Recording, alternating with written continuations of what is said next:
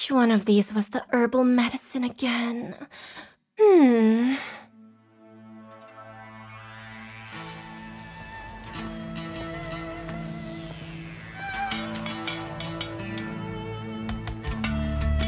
Oh, yeah, this one. Probably.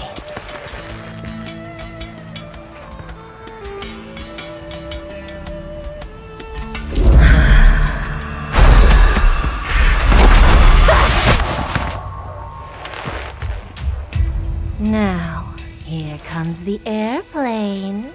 They are. No!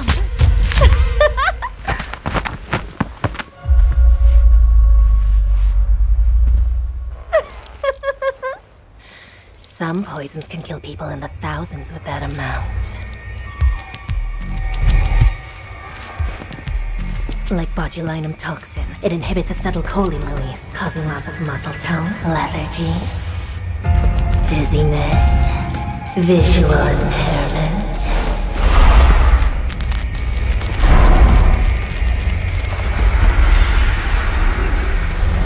Heavy eyelids, intense thirst, loss of speech, vomiting, diarrhea, stomach distension, breathing difficulty, then respiratory failure.